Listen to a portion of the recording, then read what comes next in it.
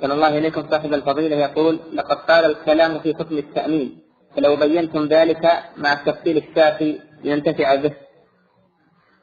التأمين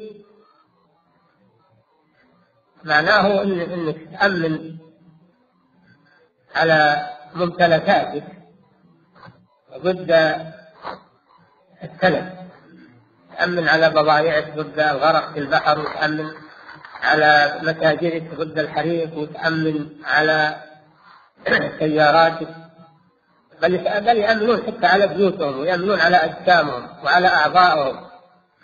يدفعون للشركات مبالغ والشركات تتكفل بتلافي ما يحصل من الحوادث ومن النقص ومن التلف. وهذا عقد على مجهول. هذا عقد على مجهول ومغامرة. وفيه أكل لأموال الناس المساهمين بالباطل. فيه مغامرات ومخاطرات. وفيه ربا تدفع شيء من المال للشركة وهي إذا حصل عليك حادث أو حصل تدفع مبالغ طائلة في مقابل هذا الذي دفعت. هذا ربا ربا صريح وغرر وجهالة وأكل لأموال الناس بالباطل. التأمين بجميع أنواعه باطل سواء التأمين على الحياة أو التأمين على التجارة أو التأمين على الممتلكات لأنه كله من المخاطر ومن الغرر ومن الجهالة ومن القمار تدخل فيه آفات كثيرة.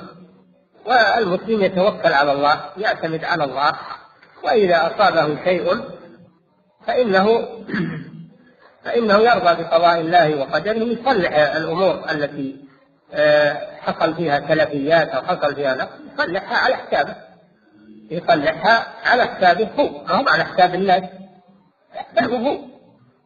وما تلف يتلف عليه هو. وما يحصل من من إصلاحات بتكاليف إصلاحات تكون عليه هو. وأما أنه يأخذ أموال الناس ويحمل الناس ما يحصل عليه من حوادث فهذا فيه ظلم وجور وفيه غرر وجهالة وفيه ربا وفيه آه، قمار وفيه بلاوي. يجتمع فيه عدة آفات قد صدر من هيئة كبار العلماء ومن المجامع الفقهية قرارات بتحريم التأمين التجاري بجميع أنواعه. تحريم التأمين التجاري بجميع أنواعه. بأي اسم سمي؟